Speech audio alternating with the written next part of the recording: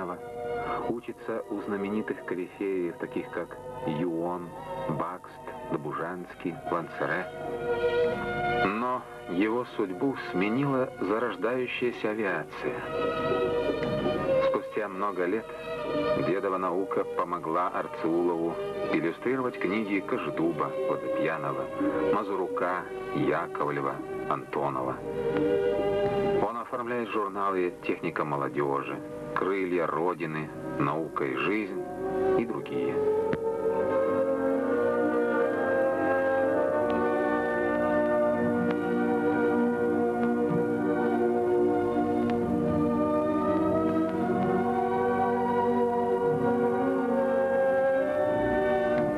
15 апреля 1961 года весь мир обходит газета «Правда». На первой полосе рисунок-плакат, посвященный полету Юрия Гагарина в космос.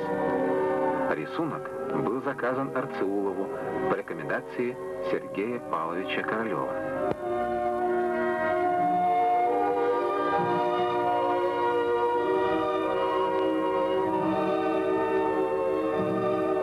Искусства художника Константин Константинович оставил наследство своему сыну, Олегу Константиновичу Арцеулову, кинорежиссеру, документалисту, народному артисту Российской Федерации, заслуженному деятелю искусству, лауреату государственных премий.